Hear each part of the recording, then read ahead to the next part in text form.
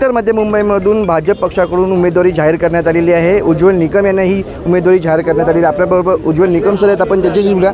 Sir काल उमेदवारी तुमची जा नाव जाहीर करण्यात आलेलं आहे. काय सांगाल त्याबद्दल? निश्चित मला आनंदही झाला आहे आणि जबाबदारीची जाणीव देखील झाली आहे. तोलून मापून वापर ब शब्द वापरावेत.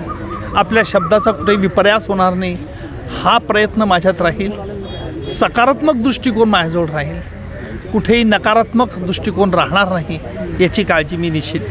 सर काल तुमची उमेदवारी जाहीर झाली आणि त्यानंतर तुम्ही आज मुंबादेवी देवीचं दर्शन घेतलं त्यानंतर बाळासाहेब ठाकरे स्मारकाचं दर्शन घेतलं तसंच चैत्यभूमीचं दर्शन घेतलं काय सांगाल मी या ज्या ज्या स्थळांना आज ज्यांचं दर्शन घेतलं त्यांच्या पुढे अभिवादन केलं नतमस्तक झालो हे करण्यामागचा माझा उद्देश एकच होता की या थोर याच्या लोकांना मला स्फूर्ती मिळावी आणि माझ्या हातून असं कुठलंही कृत्य घडू नये. की जेणेकरून जनतेतील आणि माझ्यातील जो सुसंवाद आजपर्यंत मी जोपासला आहे तो नष्ट होऊ नये. हीच प्रार्थना मुंबादेवी जो केली घटनेचे शिल्पकार बाबासाहेब आंबेडकर यांच्या स्मृतीला अभिवादन करताना बाबासाहेबांची घटना ही जगातील उत्कृष्ट दर्जाची घटना आहे आणि त्या घटनेचं रक्षण करण्याची जबाबदारी माझ्यावरती देखील आहे ती जाणीव ठेवली. कैलासवासी हिंदू हृदय सम्राट बाळासाहेब ठाकरे ज्यांचा निर्व्यास माझ्यावरती प्रेम होतं.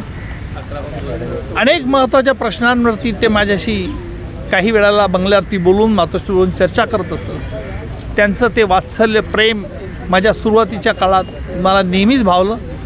आणि म्हणूनच मी बाळासाहेबांच्या स्मृतीला अभिवादन करण्याकरता सर तुम्ही बाळासाहेबांचे निक निकटवर्ती होतात आणि आता तुम्ही उद्धव ठाकरे यांची भेट घेणार आहेत. कारण कारण की ते तुमच्यासमोर आहेत कारण की महाविकास आघाडीकडून त्यांचे उमेदवार जाहीर करण्यात आले. वर्षा गायकवाड या उमेदवार आणि त्यांच्यासमोर तुम्ही तुम्ही भेट घेणार. लोकशाहीमध्ये प्रत्येक मतदार हा देव मानला पाहिजे देवी मानली पाहिजे. हीच भावना माझ्या मनात आहे.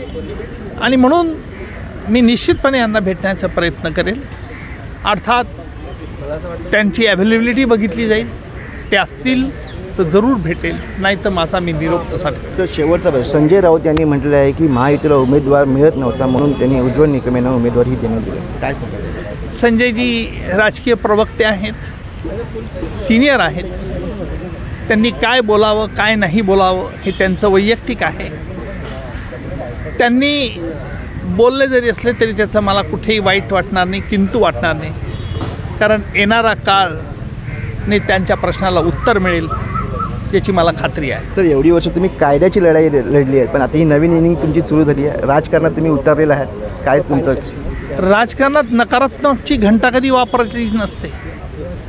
टीका राजकारणात करणं हा माझा स्थायी स्वभाव नाही. मुळातच टीका करणं हा माझा स्थायी स्वभाव नाही.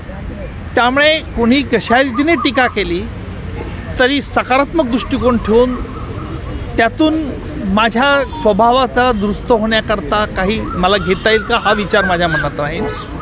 नसेल टीका टीकात्मक असेल नकारात्मक टीका असेल तर मी दुर्लक्ष करेन. सर वर्षा गायकवाड तुमच्या उमेदवार आहेत समोरच्या. काय वाटेल? कशी लढाई असेल?